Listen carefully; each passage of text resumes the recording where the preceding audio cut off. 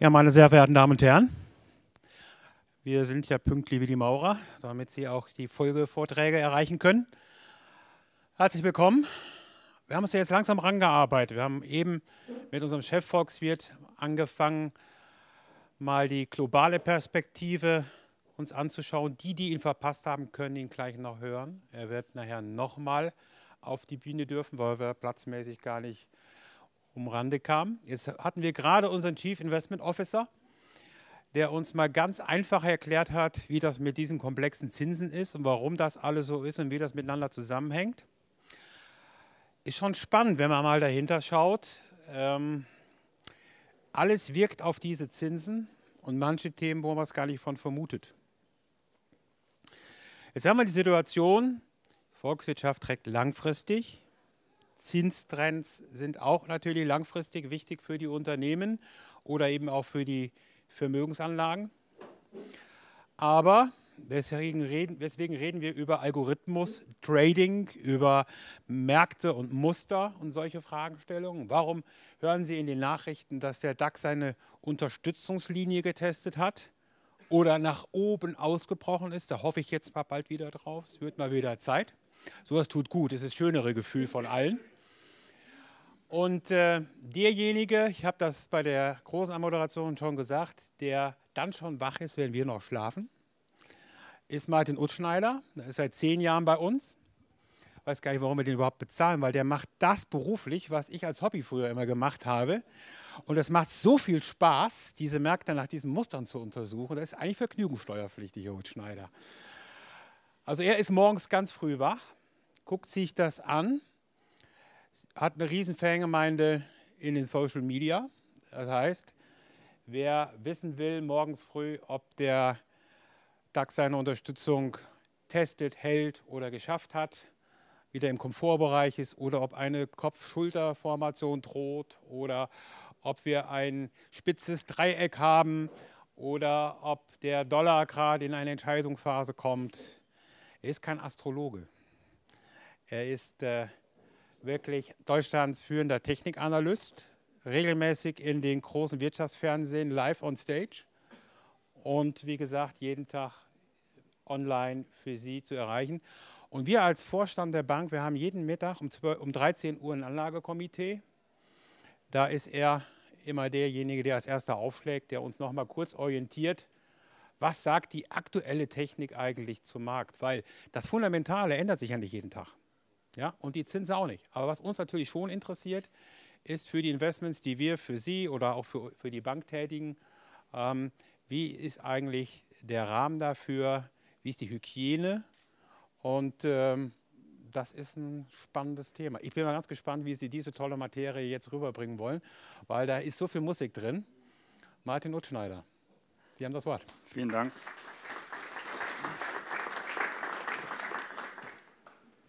Ja, vielen Dank, Herr Fitt, für die einleitenden Worte. Mein Name ist Martin Utschneider. Ich, ja, er hat es gesagt, ich habe mein Hobby zum Beruf gemacht. Ich, erste Frage, hört mich hinten jeder gut? Gut. Ähm, und es macht Spaß, ja, es macht Spaß, weil die Märkte sich verändert haben, die, die volkswirtschaftlichen Rahmenbedingungen, die sind irgendwie, wie er sagt, die bleiben gleich, die ändern sich nicht tagtäglich, aber die technischen Situationen, die Markttechnik, die Charttechnik, das ist immer wieder von neuem, ja, wenn man in der Früh aufsteht, man steht vor einer neuen Situation. Das macht es manchmal mühselig, das frühe Aufstehen, aber es ist auch dann schön, weil es macht, es ist nicht langweilig. Ja, und was machen wir hier? Wir versuchen Muster in Märkten zu erkennen mit der technischen Analyse. Wir machen keine Tradings im Sinne von, wir probieren jetzt mal schnell was, dass wir in der Früh reingehen und am Abend gehen wir dann raus äh, und haben vielleicht unsere 5% äh, und haben massive Nerven verloren oder was auch immer, sondern wir wollen schon Muster erkennen. Und wie der Herr Fitt gesagt hat, täglicher Austausch ist da auch wirklich ganz notwendig, denn wir denken zwar in Trends, aber Trends können sich ändern. Die in meinem Alter, die kennen den Tom Selleck noch, die kennen noch Modern Talking und die kennen auch noch Miami Vice. Das war ein Gassenhauer. Ich kannte das noch als kleines Kind, Miami Vice, die Melodie. Dann fährt da die, das Boot über die, über die Küste und alles war toll. Sieht heute kein Mensch mehr. Aktuelles Beispiel auch die Lindenstraße. Ich habe das als kleiner Junge damals zu meiner Mutter gesagt, du, da kommt eine Sendung, ich möchte das gern anschauen. Ich weiß das noch ganz genau, war ich von der ersten Folge an dabei. Das ist ein Lebenstrend für mich. Er endet. Keiner wusste, wenn Sie mich vor einem Jahr gefragt haben, du Lindenstraße, schau mal das nächstes Jahr auch noch an, hätte ich gesagt, klar, da, da geht nichts dran vorbei, das ist Kultur, das kommt eine Meldung. Ich war total entsetzt, die ARD setzt die Lindenstraße ab. Trends ändern sich. Das ist jetzt, sage ich mal, wenn man sich so Fernsehsendungen anschaut, ist das das eine, ich meine, dann kommt was Neues nach. Aber wenn man am Kapitalmarkt alten Trends hinterher rennt oder versucht, die Trends selbst zu definieren und sagt, ah, das kommt schon wieder, die war doch mal schon bei 100, eine deutsche Bank war doch schon mal bei X, da geht die schon wieder hin. Wir alle wissen, muss nicht immer so sein. Und deswegen gehen wir an die Märkte und versuchen eben die Trends zu erkennen oder auch mal Trends, die vielleicht wiederkehren, äh, ja, vorab zu definieren, macht es Sinn, hier einen langen Atem zu haben? Oder wollen wir anders investieren? Denn Sie kennen das, Asterix und Obelix, äh, Asterix in Spanien, glaube ich, der lange Atem, der fehlt uns alle irgendwo. Wir haben zwar ja, fundamental eine Meinung über einen Wert. Wir haben fundamental auch äh, das, ja, die Informationen, dass diese Aktie eigentlich viel mehr wert ist, als sie im Moment am Markt hergibt. Aber der lange Atem fehlt uns ganz, ganz schnell. Da geht es mir genauso. Ja, eine Story aus meinem, aus meinem Leben. Vorletzten Winter saß ich da und sagte zu meiner Frau, ich komme aus aus Oberbayern, deswegen zitiere ich jetzt mal, habe ich gesagt, du bin ich eigentlich der einzige Depp, der nicht Bitcoin hat. Und dann sagt meine Frau zu mir, kennst du dich aus damit? Dann sage ich, nein. Dann sagt sie, okay, dann lass es doch lieber sein, du kennst dich nicht damit aus. Bitcoin war ein Trend, wir waren auf 19.900 irgendwas, jetzt sind wir irgendwo, was weiß ich, 3.000, 4.000. Der lange Atem, wenn jetzt da jemand sagt, ich bin bei 19 rein, Vielleicht sind sie mal wieder bei 19, vielleicht sind sie mal wieder bei 20, vielleicht sind sie bei 40 oder 100.000 die Bitcoin. Aber wer hat denn schon die Nerven oder auch das Gemüt, das auszustehen? Und genau das ist es, was wir versuchen, auch bei Bitcoin. Da haben wir von Donner und Reuschler eine Analyse im Januar, Februar, also fast genau vor einem Jahr, haben wir eine Analyse geschrieben, rein auf technischer Basis, haben davor gewarnt, dass das Kursziel mindestens bei 9000, wenn nicht tiefer liegen kann. Es hat große Diskussion aufgeworfen. Es wurde auch zitiert in den Medien, zum, auch das Handelsblatt und so weiter hat diese Analyse aufgenommen. Und da waren schon die Fragen, du sag mal, weißt du eigentlich, was du da machst? Du schreibst dir etwas, das du gibst ein Kursziel voraus, das total irrsinnig ist. Dann habe ich gesagt, das ist nicht meine persönliche Meinung, das ist ein Muster aus dem Chart. Die Indikatoren geben es her, der Markt ist überkauft. Die Charttechnik gibt es her, wir haben Potenzial bis 9200 und wo wir jetzt stehen im Bitcoin, sehen wir alle. Und Gott sei Dank habe ich auf meine Frau gehört und habe es nicht gemacht. Denn selbst einem, ich sage es jetzt mal, der am Markt ist und das, uns ja wieder unter, immer unterstellt, wir wissen alles. Wir sitzen vor dem PC und wir wissen, wo es hingeht. Wir wissen gar nicht, wo es im Endeffekt hingeht, aber wir wissen Trends oder wir sehen Trends. Wir können Tendenzen ausloten und dann vielleicht mal die Reißleine ziehen, bevor es vielleicht das Gros der anderen macht. Ja, was, warum, wie? Das sind die Fragen, die Herr Mumm, die Herr Yildiz, die alle anderen besser beantworten können wie ich. Wenn Sie zu mir fragen, wie ist der Fair Value einer Aktie, sage ich, muss ich mich darauf verlassen, was der Fundamentalanalyst sagt. Wie kommt es zustande, weiß ich nicht. Ich kann Ihnen aber oder ich versuche Ihnen zu sagen, wann der richtige Ein- oder der richtige Ausstiegszeitpunkt ist. Bei dieser Aktie. Das Wann ist das Gros oder das ist dieses Pfund, das wir in der technischen Analyse haben. Und der, äh, der Herr Fitt hat es gesagt, wir, wir sprechen auch tagtäglich miteinander, denn die Welt ändert sich fast mittlerweile täglich. Da kommt ein Tweet aus Amerika, da kommt vielleicht eine Meldung aus China, dass der US-Handelsstreit jetzt beendet ist, dann kommt ein Tweet aus, äh, aus China, wird es dementiert oder ja, es wird gesagt, er ist zu Ende, dann wird es aus den USA dementiert und plötzlich ändert sich das gesamte Konstrukt und das technische Marktbild oder das Muster. Und das Schöne beim technischen Analysten ist, wir haben immer das große Bild vor Augen. Wenn Sie Kunde ein Berater hat mich mal angerufen und gesagt, du kannst du für einen Kunden von mir mal den mexikanischen Peso zum US-Dollar durchleuchten. Dann habe ich gesagt, ich technisch oder fundamental? dann sagt er, nein, bitte technisch. Weil was weiß ich über den amerikanischen Markt, was weiß ich über den mexikanischen Markt, aber ich kann mit dem großen Bild des Charttechnikers oder des, des technischen Analysten kann ich Muster erkennen und kann dann dem Kunden eine Empfehlung geben, wo es denn hingehen könnte oder wo er seine Risiken streuen, äh, äh, seine Risiken ähm, ähm, reduzieren sollte, um dann, ja, wenn sich die Welt morgen ändert, der Mauerbau dann plötzlich doch kommt in Mexiko oder auch nicht kommt, das weiß ja keiner von uns, ähm, gefasst zu sein auf unerwartete Meldungen, auf unerwartete Änderungen. Und genau das ist, was wir versuchen. Wir haben nicht die Glaskugel.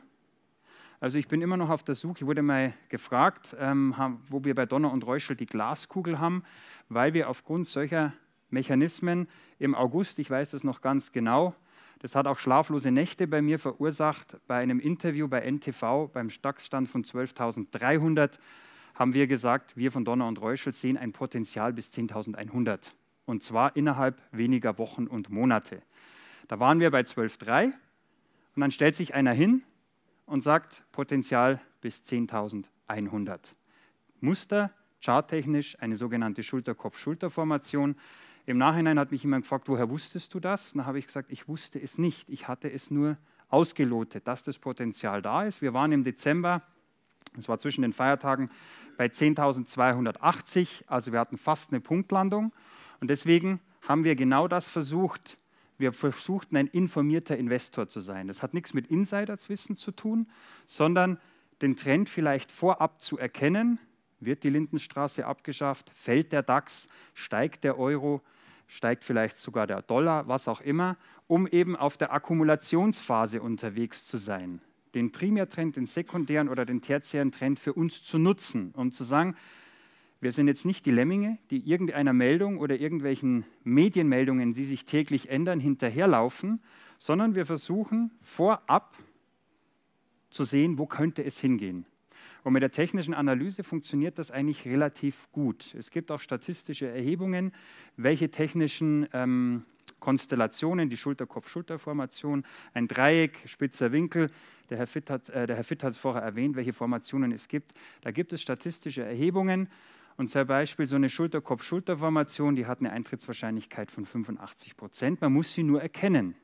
Man muss sehen, aha, da kommt jetzt so eine Formation auf uns zu, da könnte was passieren, Jetzt richten wir uns dementsprechend aus. Deswegen haben wir noch lange nicht die Glaskugel. Und wir versuchen eben in der Akkumulationsphase schon mal vorab zu investieren, vor dem Trend vielleicht oder vor der, vor der großen Masse dabei zu sein. Denn die öffentliche Beteiligung, diesen Herdentrieb, das war ich im Dezember 2000, jetzt muss ich überlegen, 17. Ich habe gemeint, die Herde rennt mit dem Bitcoin, ich muss auf diesen Herdentrieb aufspringen und wäre natürlich, ja, hätte Schiffbruch erlitten. Und bei der Distributionsphase ist es auch so, wenn man vorab versucht, sagen wir, vor der großen Masse dabei zu sein, dann versucht man auch vor der großen Masse wieder zu verkaufen. Diese, ja, das Jahr 2000 hat uns das gelehrt, als sie dann, das ist jetzt nicht äh, wertend oder, oder despektierlich oder irgend zu meinen, wenn sie dann im Taxi oder im Friseur oder wo auch immer Aktientipps bekommen. Das musst du haben, das musst du kaufen.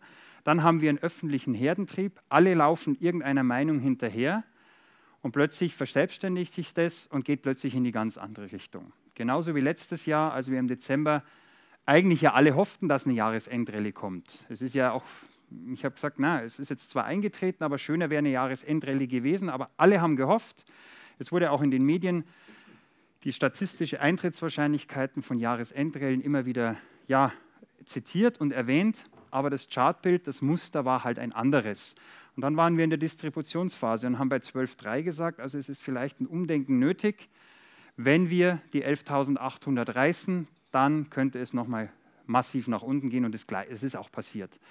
Ähm, nicht, weil ich das erfunden habe, weil ich jetzt besonders toll bin, sondern weil ich mich nur an die Regeln gehalten habe, die Regeln der Markttechnik, der Charttechnik muss man ja auch bodenständig bleiben und wirklich das so ähm, darstellen. Man muss sich an die Regeln halten, dann fällt man nicht aus dem Spiel. Und dann kann das alles funktionieren und dann haben Sie genau das hier. Ich habe das mal versucht, bildlich darzustellen. Das ist der große öffentliche Herdentrieb. Die Hälfte fällt eh runter. Besser ist, wenn Sie vorab in der Akkumulationsphase in den, P in den PC, sage ich, in den ICE einsteigen, bequem da sitzen, ja, und dann ans Ziel kommen. Sie kommen nicht schneller als andere, alle anderen ans Ziel, aber sie kommen bequem und ohne Schmerzen ans Ziel. Wohingegen hier natürlich die Hälfte irgendwann mal runterfällt. Und genau das versuchen wir mit Ihnen zu vermeiden, ähm, auch im täglichen Austausch mit Kunden, äh, mit anderen Banken, wie auch immer, zum sagen, wir werden nie den tiefsten Punkt erreichen. Das wäre vermessen und das wäre auch unseriös und fatal, jetzt zu sagen, ich ermittle mit Ihnen den besten Einstiegszeitpunkt und den besten Ausstiegszeitpunkt. Aber wir können die Märkte äh, identifizieren im Sinne von Mustern, Clustern und dann sagen, du, jetzt machen wir was im Sinne von einsteigen oder jetzt bleiben wir drin oder wir gehen raus. Denn being a trader is not stressing at all. John, 26 years old, das soll es mal so verdeutlichen. Wir sind keine Trader. Das ist ähm, Trading in der Früh rein, am Abend raus, macht alt, macht die Taschen leer und ist in den seltensten Fällen von Erfolg gekrönt. Und der 26-Jährige sieht sehr schnell alt aus, dieser John. Wir wollen, und da erzähle ich Ihnen auch noch mal was so aus meiner Jugend, kann ich ja jetzt schon sagen, in dem Alter. Als ich vor über 20 Jahren, so lange mache ich jetzt Charttechnik und technische Analyse in der Ausbildung der Sparkasse in Murnau am Staffelsee, das kennen Sie vielleicht, da fragte mich mein Chef, du äh, Herr Utschneider, pass mal auf, irgendwie, was willst du eigentlich mal in der Bank machen? dann sage ich, ich weiß es nicht so recht, jeden Tag Anzug, ist schon auch nicht meins und Kreditgeschäft, aber mich interessiert so dieses, diese Charttechnik, dieses, das würde mich mal interessieren. dann hat er zu mir gesagt, du, passen Sie auf, nennen Sie mir mal vier, fünf DAX-Aktien, die drucke ich Ihnen jetzt aus. Vor knapp 20 Jahren, ja 1998, in der Sparkassenfiliale in Murnau. Dann habe ich ihm vier, fünf Titel genannt. Da war MAN dabei, Mannesmann, kennt man heutzutage nicht mehr. Dann hat er mir das ausgedruckt. Sie kennen noch diese Nadeldrucker, dieses mm, mm, mm. Dann hat er mir das ausgedruckt und dann lag das vor mir. Dann hat er gesagt, jetzt nehmen Sie mal einen Stift und einen Bleistift in die, äh, Stift und ein Lineal in die Hand. Ich dachte, was will der jetzt von mir? Ich will doch hier analysieren lernen. Verbinden Sie jetzt mal drei Hochpunkte und drei Tiefpunkte. Da haben wir gedacht, hm. dann habe ich das gemacht und dann hat er gesagt, so, jetzt haben Sie einen Trend. Jetzt haben Sie einen Trend. Und Ihrer Meinung nach, wo steht die Mannesmann und MAN oder was auch immer? Und dann erkannte ich, aha, schau mal, das schaut aus wie ein Kanal. Dann hatte ich schon mal das erste Prinzip erkannt, Trendanalyse. Einfach, simpel. Man meint immer, Charttechnik, technische Analyse, das ist was für ganz Verrückte, das ist was ganz, ganz, ganz Kompliziertes. Es ist ganz einfach, wenn man sich Trends einfach einzeichnet und dann aber auch diesen Trend beherzigt. Wenn ein Trend bricht, bricht er. Wenn eine Linie bricht, dann durchbricht sie. Und mit Hilfe von Indikatoren, die ich Ihnen auch nachher noch kurz vorstelle, oder Mustern, kann man vielleicht schon voraussehen, wo etwas bricht und wo man die Risiken rausnehmen sollte. Der Primärtrend, den kennen wir alle. Ich war mal auf einer Veranstaltung, auch von einem, von einem Charttechniker, da ging es auch um, um, um darum, Fonds zu vertreiben. Und dann sagt er, machen Sie sich keine Sorge, der langfristige DAX-Chart geht immer nach oben. Das stimmt ja. Wenn Sie den DAX anschauen, vielleicht noch den, FA, äh, den FAZ-DAX, 1988, es geht alles nach oben. Aber was bringt Ihnen das denn, wenn Sie heute investieren? 1988, das ist 30 Jahre her. Man sagt immer, Aktien sind langfristig die beste Anlageform, aber jetzt kommt wieder die Psyche, äh, wo man sagt, man ist mal 3% hinten, 4%, 5%, was auch immer. Man fängt plötzlich an, nervös zu werden oder gierig. So, Utschneider, Bitcoin, warum bin ich nicht dabei? Weil man plötzlich meint, die Herde läuft einem davon. Langfristig, absolut, wenn Sie heute in Aktien einsteigen, in einen Index, was auch immer, und sagen, ich habe wirklich die Nerven, ich habe wirklich die, die, die Ruhe, erst in 20, 30 Jahren mir diesen Fonds, diesen Index, was auch immer wieder anzusehen, ja, dann kann man hier durchaus ein Buy-and-Hold-Investment machen. Aber wenn man, und so geht es uns ja alle, zwischendrin in anderes Fahrwasser kommt, sollte man vielleicht mittels Sekundär- und Tertiärtrend auch mal Risiken rausnehmen, vielleicht auch mal ja, Gewinne mitnehmen. Wir sprechen immer von Risikoreduzierung. Man kann auch mal Gewinne mitnehmen. Das nennt sich dann Take Profit im Gegensatz zum Stop Loss. Und das funktioniert eben. Sie sehen es hier oben wieder. Das sind die drei Trends, indem man eigentlich die Akkumulationsphase, die Distributionsphase für sich nutzt und dann mal Gewinne mitnimmt, die Risiken rausnimmt und einfach besser schläft. Aufwärtstrend, Abwärtstrend, Seitwärtstrend. Sie haben mit der technischen Analyse nämlich die Möglichkeit, in allen Marktlagen auch Rendite zu erwirtschaften. Sie können in fallenden Märkten, wenn Sie einen Abwärtstrend erkennen, dann können Sie da genauso Geld verdienen wie in einem Seitwärtsmarkt oder in einem Aufwärtstrend. Sie müssen nicht nur immer die Linie nach oben kennen, sondern auch die anderen beiden Linien. Aber Sie sollten sie erkennen und dementsprechend das Muster für sich nutzen und dann auch ja, langfristig, mittel- oder kurzfristig für sich arbeiten lassen.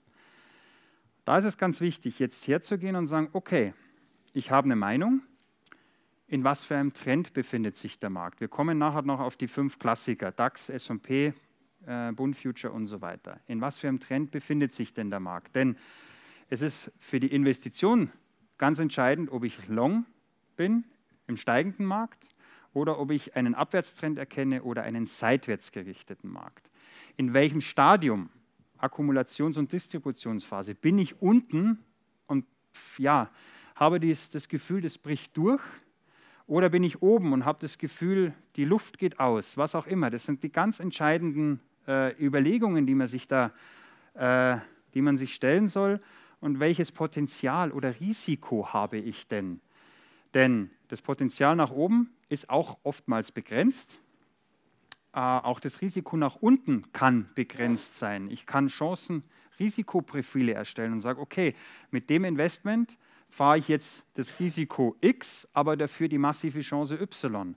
Gehe ich das ein? Mache ich das? Ziehe ich Sicherungsszenarien ein anhand der Muster, die ich erkenne? Und dann hat man in diesem, ja, in diesem sehr volatilen Aktienmarkt, der wird ja immer volatiler. Es ist ja nicht mehr so, dass, ich habe es eingangs erwähnt, volkswirtschaftliche Rahmendaten entscheidend sind, sondern auch Tweets mittlerweile oder irgendwelche ja, Entwicklungen in China sind plötzlich für den deutschen Aktienmarkt entscheidend. Und dann können Sie sagen, okay, welche Risiken, welches Potenzial habe ich und wann reagiere ich?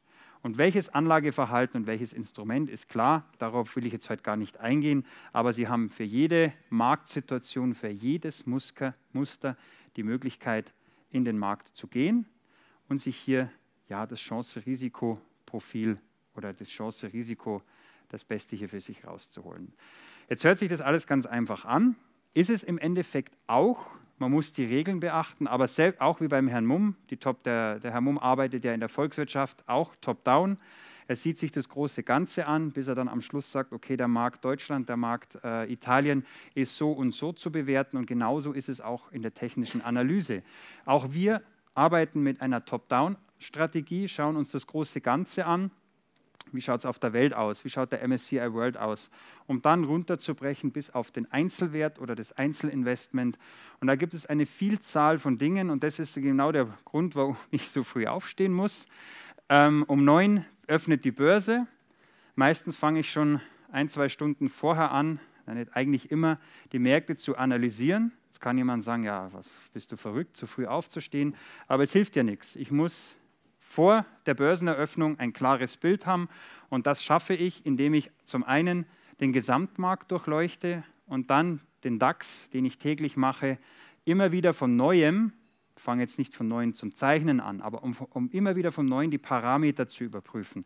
Denn was gestern war, das ist wie bei der Zeitung, was gestern in der Zeitung stand, ist heute alter Käse. Gestern war die Lindenstraße der Gassenhauer, heute schauen es bloß noch drei Millionen, deswegen wird es abgesetzt.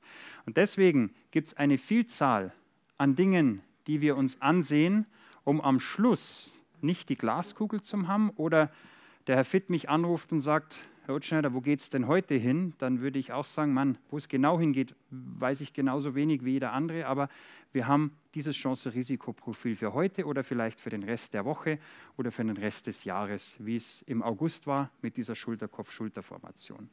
Ja, es ist eine Vielzahl an Dingen. Ich will Sie damit auch gar nicht überfrachten. Einfach nur mal auf sich wirken lassen, denn allein das ist Tages- oder Wochenfüllen, sich hierzu äh, hier darüber zu unterhalten. Aber entscheidend ist dieser Pfeil, wir können mögliche Trends der nächsten Tage, Wochen, Monate irgendwo einnorden. Wir können Kauf- und Verkaufsorders setzen, Stop-Buy und Stop-Loss-Marken ja, definieren, um einfach auch das, das Geld der Kunden, nicht nur unser eigenes, wenn wir Entscheidungen treffen, sondern eben auch mit den Kunden zu sprechen und sagen, du, pass mal auf, jetzt bist du in dem Markt 10% vorne. Willst du nicht ein bisschen Risiken rausnehmen, weil das Profil, das Muster ist ja schon wirklich extrem heiß gelaufen. Einfach, einfach mal zu sensibilisieren. Einfach zu sagen, du, komm mal, nimm doch mal die 10% mit oder nimm doch mal die 20% mit, denn besser wird es jetzt erstmal nicht laufen. Und dementsprechend, ja, hat man dann eine Konklusion und kann sagen, gut, jetzt sagen Sie, ja gut, jetzt redet ihr nur über Risiken reduzieren. Ich habe vorher zu einem, ich weiß nicht, ob er hier sitzt, zum Herrn gesagt, weil er gesagt hat, es ist ja schön und recht, Risiken zu reduzieren. Ich spreche jetzt mal in der Fußballsprache. Wenn Sie 34 Mal in einer Saison 0 zu 0 spielen, dann haben Sie nie Risiken eingegangen, steigen aber trotzdem ab. Denn es ist jetzt nicht nur unsere Aufgabe, bei, von der technischen Analyse bei Donner und Reuschen Risiken zu reduzieren, sondern es soll ja dann auch was rauskommen dabei. Und das ist genau das. Zum einen, hinten muss die Null stehen, die Risiken müssen gesichert sein, man muss äh, nach unten abgesichert sein, aber auch nach oben. Es gibt nicht nur die, die, die SKS nach unten oder die, die spitzen Dreiecke nach unten, sondern auch die Chance zu erkennen und zu sagen, so, jetzt macht es Sinn einzusteigen. Der Herr Fitt hat es vorher erwähnt. Äh, es wäre jetzt schon wieder schön, wenn der Markt steigt. Das Problem ist, das sehen Sie auch nachher noch im Chart. Also wir kommen jetzt auch, Sie würden hier sagen, Butter bei die Fische, wenn ich es richtig interpretiere. Wir schauen uns Charts an, denn der DAX year to date, super, 5, 6, 7 Prozent. Kann jetzt jeder sagen, er schafft den Turnaround. Jetzt haben wir letztes Jahr ein Minus gesehen, aber heuer läuft es doch ganz gut. Das übergeordnete Muster ist leider noch negativ, trotz dieser Year-to-Date nennt sich das, also seit Jahresanfangs-Performance. Genau das sehen Sie auch beim SP, den ich Ihnen hier mal ganz plastisch darzeige. Der SP, der hat hier unten sich irgendwo gefangen. Ich weiß das noch, hier die große Diskussion, diese W-Formation. Also Sie sehen hier nochmal, das ist eine ganz klassische, dürfte hier irgendwo aufgeführt sein, Fortsetzungsformation mit etwaigen Kurszielen ist hier eine W-Formation. Da hatten wir, damals war ich noch im Asset Management, lange die Diskussion, ja, wann, Martin, wann bricht denn dieses W? Wann gehen wir denn nach oben? Wann ist es denn soweit? Und da sage ich, ich habe keine Ahnung. Nur, dieses W muss erstmal brechen, diese 2135 müssen durchstoßen werden, damit wir erstmal wieder darüber sprechen können, dass der US-amerikanische Markt in eine Hoss übergeht. So, jetzt kommt die US-Wahl. Ich weiß es noch, ich habe die, die, die Zeitung immer noch bei mir liegen. Vor der Wahl hieß es, wenn Trump kommt, raus aus den Aktien, wenn Hillary Clinton kommt, rein in Aktien. Was ist passiert? Genau das Gegenteil. Wir als Techniker hatten da überhaupt keine Meinung dazu. Ich weiß nicht, wusste damals nicht, ob es gut ist, wenn der Trump kommt für den Aktienmarkt oder ob es schlecht ist. Weil der Markt, das ist auch so ein Spruch bei uns, der macht eh, was er will. Aber unsere Maßgabe war und unser Advisory oder unser Statement oder unser Ratschlag war, wir warten erstmal diese Formation ab. Das kann eine Fortsetzungsformation werden, aber erst wenn sie ausgebildet ist. Das heißt, wir brauchen auch oftmals viel Geduld, ähm, viel, ja, auch ein bisschen Nerven im Sinne von, dass wir nicht zu hektisch werden, nicht zu gierig werden und einfach mal abwarten und sagen, okay, Jetzt ist es mir eigentlich egal, ob es Trump wird oder nicht, also aus, aus, aus analytischer Sicht, nicht aus persönlicher Sicht, wie auch immer. Ja, dann haben wir hier die Situation, W-Formation wird durchstoßen, wird nochmal kurz getestet und wir haben eine massive Hoss. Jeder sagt immer die Trump-Hoss. Ob es wirklich seine Hoss ist, ob er dafür verantwortlich ist, ob wir es ihm zu verdanken haben, das fragen Sie besser den Herrn Mumm als mich? Ich weiß es nicht. Ähm, ich kann Ihnen nicht den amerikanischen Markt fundamental jetzt dahingehend erklären, warum die Märkte so massiv steigen. Aber sie steigen. Self-fulfilling Prophecy der technischen Analyse. Ähm, ja, ich habe es nicht gewusst. Ich habe nur dann, oder ich, der Kollege sitzt auch hinten, der Herr Rodriguez, der mit mir da in der Zeit auch ganz eng zusammengearbeitet hat. Wir hatten gesagt, so, wenn jetzt der Trend sich fortsetzt, dann kann das durchaus was werden. Aber dass das eine Hoss wird von 2,135 bis hier oben, Orlando, es war uns so nicht klar, aber wir haben es mit, mitgemacht. Wir haben den Trend laufen lassen. Wir waren dann ja, von der Meinung her long. Wir haben den Kunden auch immer gesagt, solange wir diesen unteren Trend nicht verlassen, ist das alles kein Verkauf. Wir hatten eine Dynamisierung im Markt, bis dann plötzlich was kam. Wir gingen in den Aufwärtstrend und spätestens hier war es Zeit zu verkaufen, um eben hier das Signal zu bekommen. Das alles hat man vermieden. Wir haben jetzt hier eine Bodenbildung. Jetzt kann jeder sehen, dass sich das wieder erholt hat, aber wir sind nach wie vor nicht im Trend. Also das Ganze ist noch ganz, ganz fragil, sehr sensibel. Und wenn da irgendwelche Meldungen kommen, wuff, sind wir vielleicht, das ist jetzt keine Kursprognose, vielleicht wieder ganz unten. Wir haben, die Begriffe hatten Sie vorher gehört, ein Primärtrend, wir haben ein Ende der Trump-Dynamik, also in Anführungsstrichen. Ob es Trump zu verdanken ist, wissen wir nicht, aber seit Trump dran ist, hausieren die Märkte.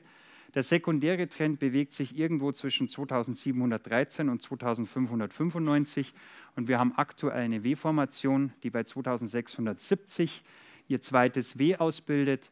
Also beim SP sollte man durchaus, wenn man gut schlafen will und Sie nicht der nervenstarke Trader sind, äh, der sagt, es ist mir alles egal, dann sollte man durchaus mal warten, bis sich der Trend wieder einstellt.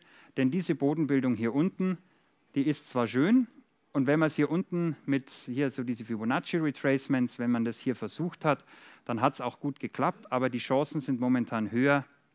Entschuldigung, die Risiken sind momentan höher als vielleicht die Chancen aus, aus Grund äh, oder aus dem Gesichtspunkt der Trendanalyse. Jetzt kommen wir heim zum DAX. Der DAX sieht momentan so aus.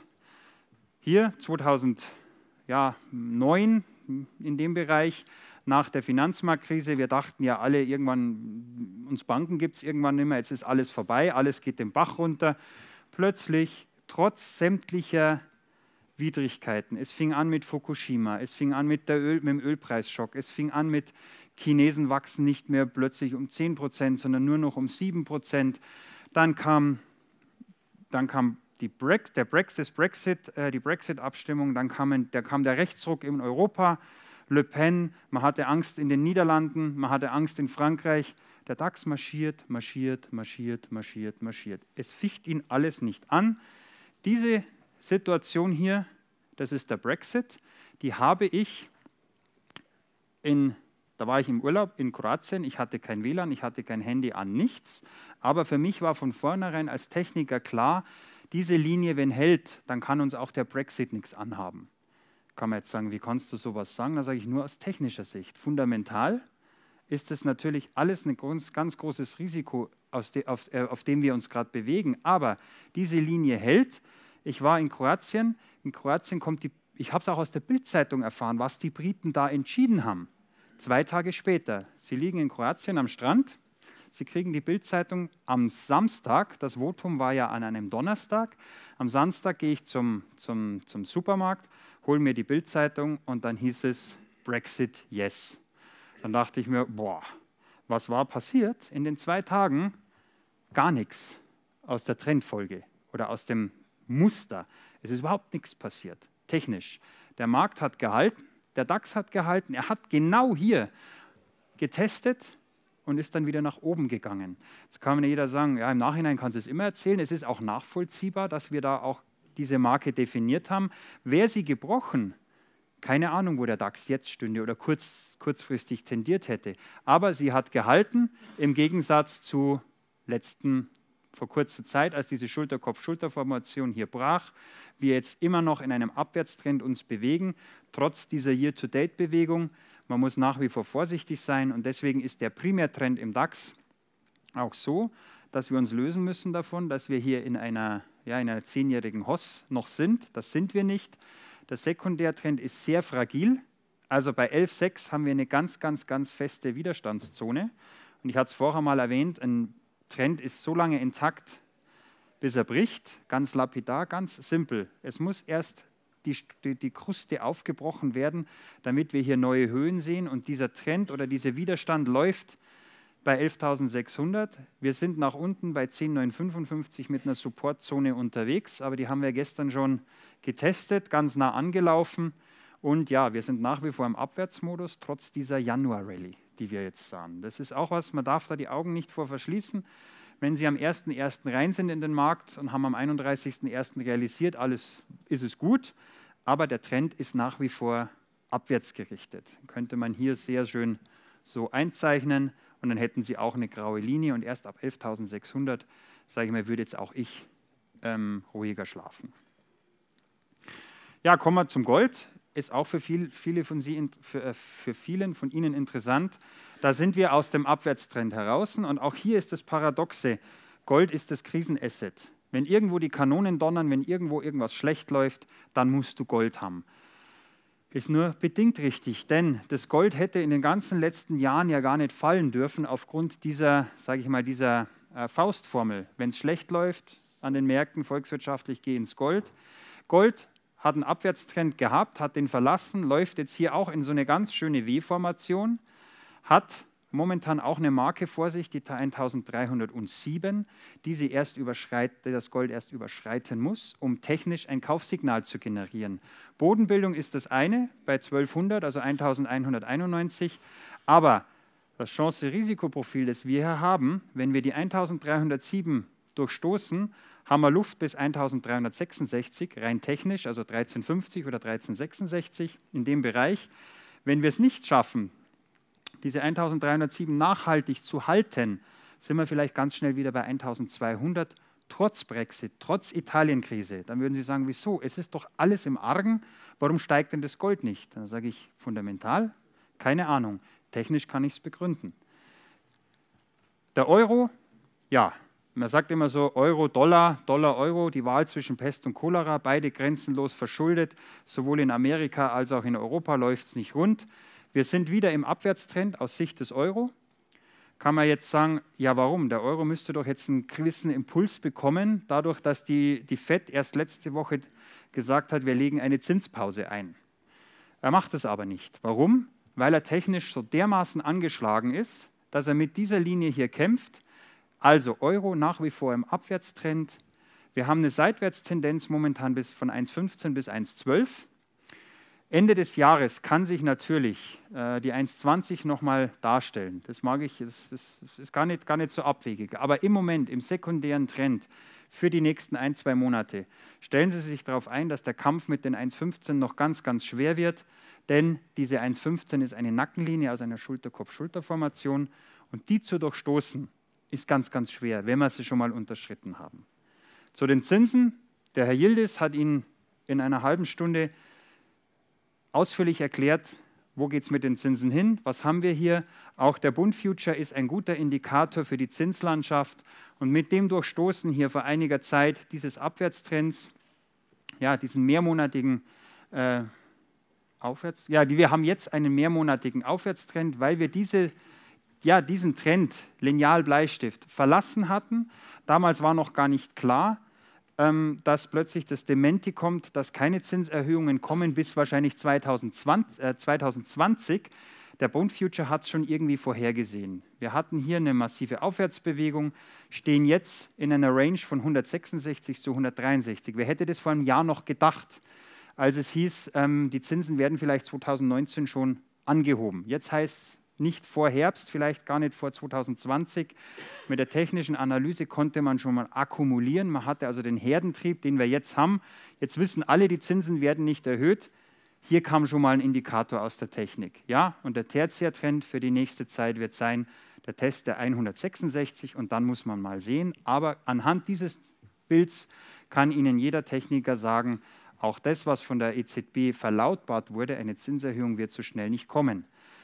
Ja, Perspektiven heißt die Veranstaltung hier, Perspektiven 2019. Was wird uns 2019 noch beschäftigen und warum haben wir mit der technischen Analyse einen verlässlichen Kompass, keinen 100% Kompass? Ich, hab, ich, ich weiß es ja auch nicht, wo wir am Ende des Jahres stehen, so richtig, auf den Punkt genau. Wir haben die Politik, wir haben die Niedrigzins, wir haben die Notenbanken. Die EZB kann plötzlich entscheiden, ach, wir erhöhen die Zinsen doch. Und jeder sagt, wieso, ihr habt es doch am Anfang des Jahres ganz anders von euch gegeben. Kann alles passieren. Die Konjunktur ist ein, ein, eine Variable. Wir wachsen, der Herr Mumm soll mich berichtigen, weltweit zwar um 3,5 Prozent prognostiziert für nächstes Jahr, aber der IWF hat seine Prognose die letzten Wochen schon zweimal reduziert. Da waren wir mal bei 3,9, jetzt sind wir bei 3, waren wir bei 3,7, jetzt sind wir bei 3,5. Alles das wirkt sich positiv oder negativ auf die Märkte aus die wir nicht vorhersagen können, aber wir können vorhersagen, wo die Linien liegen, wo die Muster liegen, wo man reagieren muss. Und Black Swan, der schwarze Schwan, alles kann irgendwann mal unvorhergesehen eintreten. Sie sind gerüstet mit der technischen Analyse. Ich merke gerade, ich habe ein bisschen überzogen. Entschuldigung, vielen Dank für Ihre Aufmerksamkeit.